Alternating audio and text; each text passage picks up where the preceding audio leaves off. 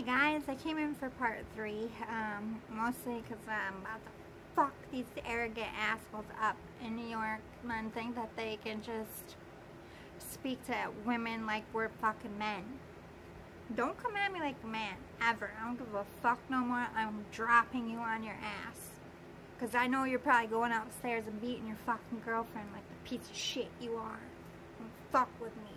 Can't hide your fucking secrets tried to hit me because, God forbid, he watched me coming the whole time filming and he had plenty of time to turn into his garage. He waited for me to walk by his garage and then revved his engine like he was gonna hit me. Play with me, motherfucker. I will break your legs. You ain't running over shit. This is what I deal with in New York. Minding my fucking business I got a fucking camera on my face. Some man thinks that he wants to knock me out, down a few pegs because God forbid a woman in the fucking hood has some goddamn self-confidence. You want to know why poor women are broke? Look at the fucking men around us. Because God forbid we fucking smile. There's more woman beaters here than ever before. I want to fucking hear that the world is fucking changing. I have three fucking floors of women getting beat Nobody does shit. Fuck you, New York. Fuck you. From every woman ever. I can't even walk down the street without being heckled. Everybody thinks it's a rite of fucking passage to grow up and treat women like shit in New York. Mm-mm, I don't fucking allow it. These bitches sit here and take it, not fucking me. I don't give a fuck. Sorry, side note. Just over it can't even film outside. Half of the time, I don't even show you how much shit I fucking deal with because I'm out here doing something for myself. Nobody can handle somebody who wants to do something for themselves and put the work in. They just want to sit around and talk shit about everybody and do nothing with their fucking life. Getting the fuck out of here. I don't care where was I?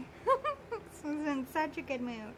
Alright, so we talked about sex a little bit, like getting undressed is very uncomfortable for women. We're always like, like, trying to find a pose where, like, our belly looks better or our boobs look good. We just can't, like, I mean, we can. There are confident women, but most women have something about themselves that they're always fidgeting with when they don't have clothes on because there's this perception in women's mind that we have to maintain some order of perfection.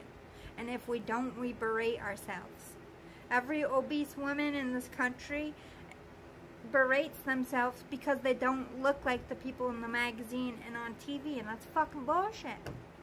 It's fucking bullshit. We shouldn't feel this way, ladies, but let's talk about it. Men walk by, and what is the first thing women do? Stick their boobs out, push their butt right, and suck in their gut. Instant pose. No. Do you know what I do? I let my fupa ride. Check out this fupa, bitch. Still want to go out a date with me now? well, I'm trying. if they're really hot, I still suck in my gut. I'm working on it. Can't help it. It's ingrained. Like, look perfect like we're in packaging, we're like we're Barbies and Ken's just walking down to fucking pick out and inspect you and tell you that your body's not perfect. Like, why do we think this way, women? I've never had a man walk up to me and be like, excuse me, you're standing here and you're not sucking in your gut. So, what kind of woman are you? But we are like, sucking your gut. Where does that come from? Why do we worry about this? If, like my double chins, I fucking hate it. I hate pictures. I hate videos of myself even though I do them because I know I got a double chin right now. I've had one for four years. It's all there. It's like jiggle jiggle like a fucking turkey. Self-conscious as a motherfucker. Why? If some asshole doesn't want to talk to me because of my double chins, looks like my double chin did me a motherfucking favor then. That's what I'm learning. Embrace it, women. Why do we focus on all this stupid shit? It's a woman's brain. I'm telling you, we're wired to just nitpick the fuck out of ourselves. Like, oh, I have a pimple? Oh, my eyes are a little cockeyed. whatever it is that you have a self-conscious thing with. Men do this too, but I feel like women are born like, I just need to be better. I just need to be better. I could be better. I'm not doing enough in our minds. But that's some bullshit. I don't like it.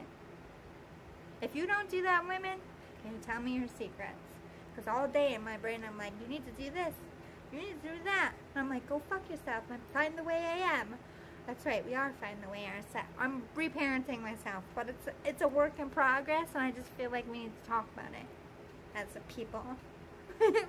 um, so when people come over to a woman's house, most of the time women are very self self-conscious about how clean their home is, if it's decorated nice, especially when they're dating and like they bring someone over like is my food gonna be good and I is he gonna think I'm dirty?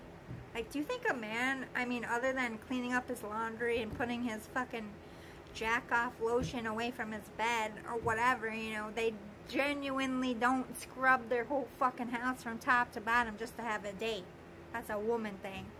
Like, why do our fucking houses have to be perfect? Our bodies have to be perfect. The food we present to you have to be perfect. And we also can't poop because we're women.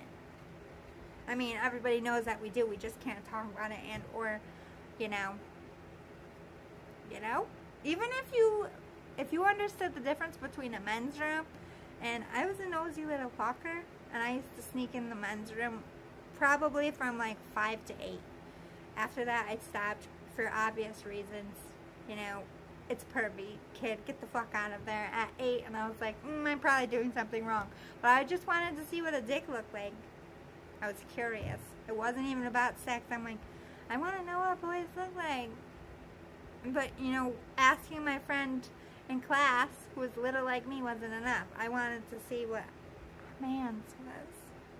Why are women shamed into not, like, we're not allowed to be curious about things? We're not allowed to be freaks, and if we are, we have to be shh about it. You know what? If you're a freak, I'm vanilla as fuck. I wish I was a freak. I'm vanilla. I rock vanilla dumb. But if I was a freak, do you know what I'd be like? I'm super freaky. What's a freakiness? I wish I was. I could just walk around and be like, I'm a freak. She's a freak. Whatever. I'd be, I'd own it like a boss. But I know I'm vanilla. I can't role play. It just turns into an SNL skit. Like, I try to be sexy and they're like, what's wrong with you? Is your face twitching? Like, I just been in it. Inside, I have very dirty thoughts. Women aren't allowed to acknowledge this. We are more sexual than men. We're just better at capping that shit. True story. um, saying I love you so fucking stressful because normally a woman, they wait for the woman to say it first. Normally. Not all the time. And I'm like, when do I fucking drop this? And am I okay even saying this out loud? What if I don't feel this? What if I'm not ready to say it? That mean we're not right for each other? If they can't say it and I can't say it, is that a red flag? This is how women's brains work. Like, the, just say it when you want to. Who the fuck cares? Why do we put all this pressure on ourselves? And we have to hold the conversation too. Jesus. No wonder why women are so hardwired to just be like all the time. We have so much pressure and it all comes from within our own don'ts. And it's not our fault. This is a society problem. Mm-hmm. I'm just being a real bitch. Just being real. What else we have? Oh, naughty photos. Should we send them? And if we don't send them, are they going to break up with me? Because I don't show them my... You know what? Uh, do you know what my stance is on photos? No. Videos? No. Because they will and can be used against you. More fact, they will be used against you. Especially when you break up or someone finds that that isn't your fucking person if you try to run for president, if you're the boss of a company, it will come bite you in the tits or the dick. So just don't fucking do it. And if you have them, delete them every fucking cookie. Like, act like you're fucking president of the United States and that shit's gonna be on the newspaper in the morning. So you should be acting about putting any images about your body in this crazy cyber world. Nothing disappears forever. It will be there. If you want your hot body capsulized, you want your grandkids to see that when you're 90. Think these things through, ladies. Now.